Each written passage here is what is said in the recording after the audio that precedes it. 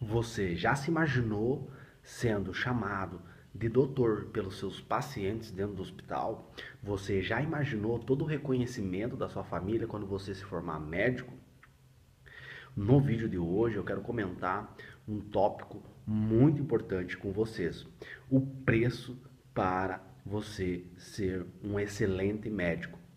Ultimamente eu estive entrevistando, conversando com alguns médicos em fevereiro, nós vamos lançar o podcast Futuros Doutores, onde eu vou trazer profissionais da medicina, médicos especialistas, onde eu quero conversar com eles sobre carreira na medicina, quanto que ganha o médico, como é que é o mercado de trabalho, como é que funciona todo esse, esse contexto faculdade de medicina e o pós e, e principalmente, né, o pós faculdade de medicina, né, o mercado de trabalho, como é que é essa questão de você se posicionar, você conseguir pacientes e tudo mais.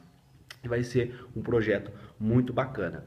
E ao longo dessas conversas, desse network que eu fiz com esses médicos que são referência em suas áreas, nós conseguimos ver um padrão comportamental entre esses médicos bem-sucedidos. Eles pagam um preço muito alto para serem os melhores na sua área. E eu vejo, uh, desde que eu comecei a postar vídeos aqui para vocês, e até mesmo lá no meu Insta, onde eu recebo muitas mensagens e eu tenho todo esse contato com vocês, que é um contato muito bacana, eu aprendo muito, né?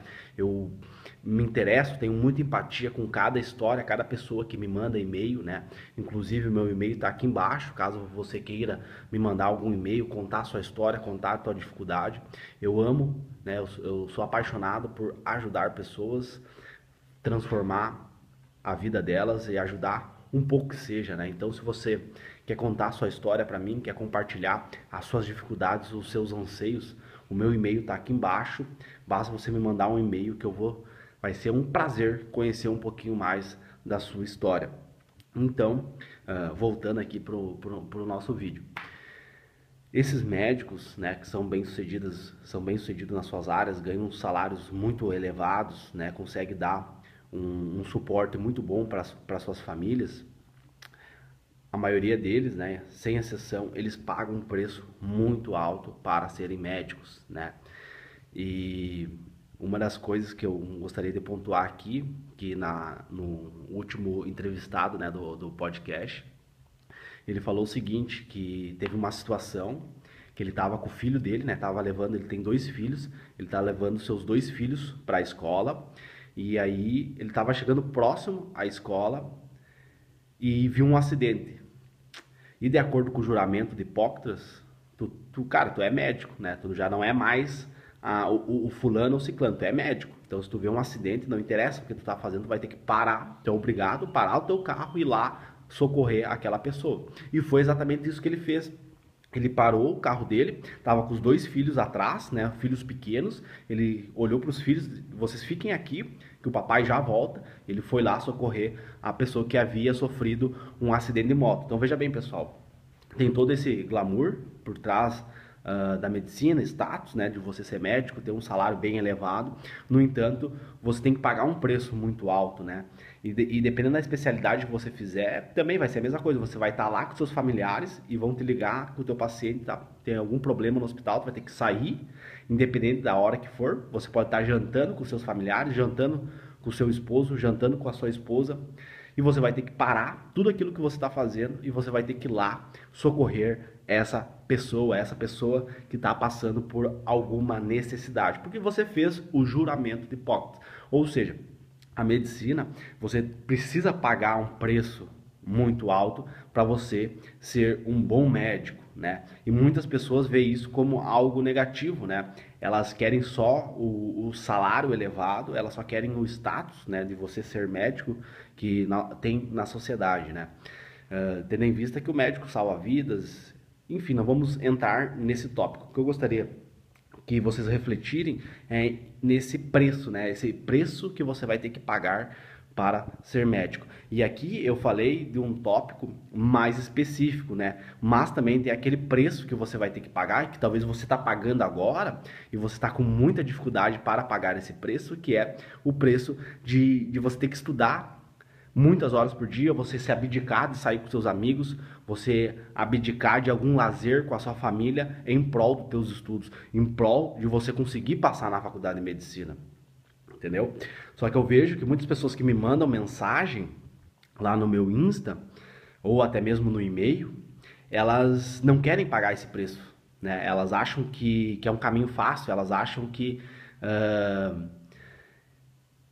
que vai acontecer algum milagre na vida delas e aí elas vão conseguir. Não, cara, vai ter que se dedicar muito, vai ter que ter muito esforço, né, para você conseguir seu objetivo. E sim, você vai ter que pagar um preço muito alto, né? Você vai ter que que se dedicar inúmeras horas para que você consiga atingir o teu objetivo, ok? Não é fácil. No entanto, óbvio, né, que exige, eh, existem estratégias que são melhores, que vão fazer você chegar mais rápido nesse caminho, e tem estratégias que vão fazer você demorar mais tempo, ok?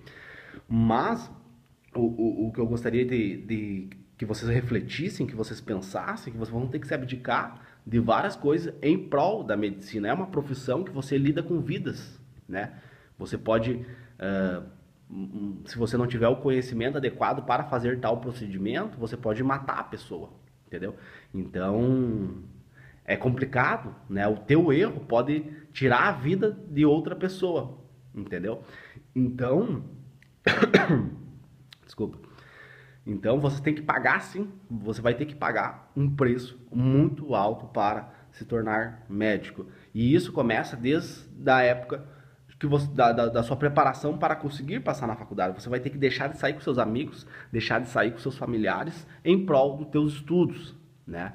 E depois da faculdade de medicina só piora. As pessoas acham que, que a medicina é só antes de passar, não. Depois também. Depois você vai ter que, que se dedicar inúmeras horas durante a faculdade, inúmeras horas também para estudar conteúdos que são extremamente complexos, muito mais complexos do que, por exemplo, a prova do Enem, conteúdos que são cobrados no Enem. São conteúdos muito mais difíceis. Por isso que essa primeira fase, né, esse processo até você conseguir passar é o mais fácil. Na minha opinião, é o mais fácil, porque depois a faculdade, ela é muito mais difícil, né? Você vai ter que fazer exames físicos, você vai ter que fazer anamnese, você vai ter que uh, depois tem o ciclo profissionalizante, né, que você vai ter o, a, a clínica, a cirurgia, enfim, e aí depois você já começa a fazer procedimentos e aí é o teu que tá, né? É, é você que está fazendo aquilo e você vai ter que responder, né? Para aqueles pacientes, pela aquela pessoa que você vai estar tá ajudando através do teu conhecimento, entendeu? Então você vai ter que estudar muito para você não errar, né? A medicina não tem erros, então essa fase até você conseguir passar, na minha opinião, é uma das fases mais fáceis. Então fica aí a reflexão para vocês, tá? Medicina tem que pagar sim um preço muito alto, mas é o meu, é, é, por exemplo, eu vejo que é o meu propósito de vida, né? O meu propósito é o que eu escolhi, eu vou, vou pagar sim esse preço, vou fazer tudo que precisar. E se você ficou até o final desse vídeo, eu tenho uma surpresa para você. Algumas pessoas dentro da primeira turma do Atleta da Mente, um manual prático para aprovação em medicina, o único treinamento online com neurociência aplicada para aprovação em medicina, elas fizeram um boleto, mas não pagaram, tá?